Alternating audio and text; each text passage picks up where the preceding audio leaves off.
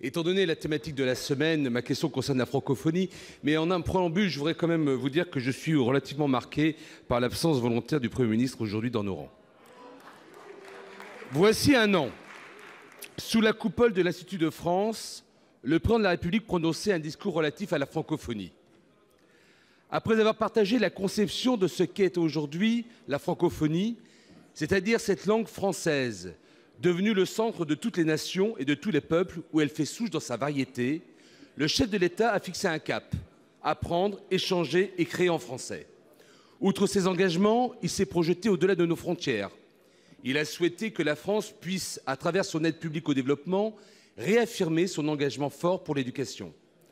À cet engagement en matière de développement, le président de la République a également annoncé des mesures concrètes notamment en proposant un volontariat international pour le français et un doublement des missions du service civique sur cet enjeu, en annonçant un nouvel élan pour les lycées français et un doublement du nombre d'élèves inscrits dans le réseau scolaire d'ici 2025, et en demandant à nos établissements du supérieur de s'implanter hors de nos frontières et de se regrouper en campus.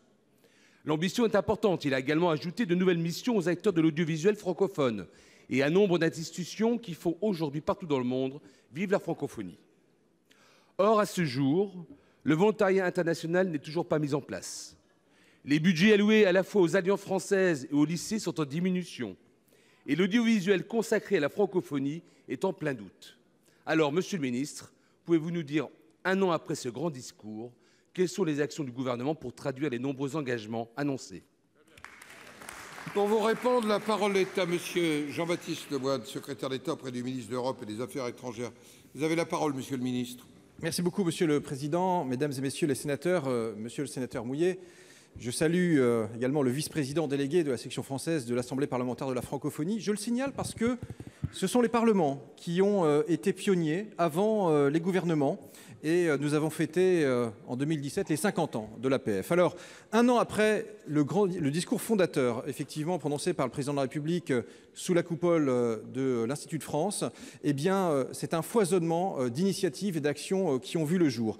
Parlons moyens budgétaires. Euh, nous sommes passés euh, tout simplement de 97 millions d'euros octroyés au soutien aux systèmes éducatifs euh, dans les pays en développement, parce que nous avons besoin pour que le français soit une réalité, non pas seulement une potentialité, et eh bien que nous puissions accompagner ces systèmes éducatifs, à un budget de 208 millions d'euros en 2018. Et nous allons l'accroître pour passer à 300 millions d'euros. Par ailleurs, il y a une synergie des actions conduites aussi avec l'Organisation internationale de la francophonie. Le président de la République a pu euh, évoquer euh, ces sujets hier en rencontrant euh, la nouvelle secrétaire générale, Madame Louise Mouchiki-Wabo. Et tout cela va se décliner au sein des institutions européennes pour que le français soit toujours plus et mieux enseigné aux fonctionnaires internationaux. Parce qu'il est essentiel pour que l'Europe soit une réalité également, que le multilinguisme soit une réalité concrète et qu'on puisse s'y exprimer en français.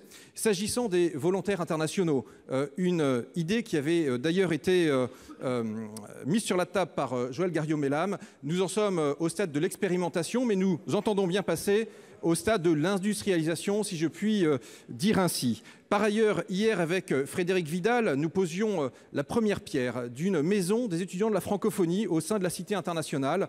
Elle va pouvoir accueillir 150 étudiants francophones en 2020 et ça sera un lieu naturellement d'inspiration. Et puis, vous l'avez dit, les campus, le campus euh, franco-sénégalais, le campus franco-tunisien, tous ces chantiers avancent bien et je sais que c'est un sujet qui rassemble largement. J'ai d'ailleurs une pensée pour Jacques Legendre et Michel André qui ont porté haut cette flamme et que nous nous attachons à perpétuer ensemble. Oui, monsieur le ministre, j'entends euh, la liste des, actions engagées. Je reste en tous les cas le témoin sur le terrain d'un décalage réel entre les discours et les concrétisations. Alors nous attendrons euh, les mois qui viennent pour voir la traduction. D'une façon générale, je pense que même sous la coupole de l'Institut de France, il faut parfois avoir un discours plus modeste, mais des engagements qui soient tenus. Merci.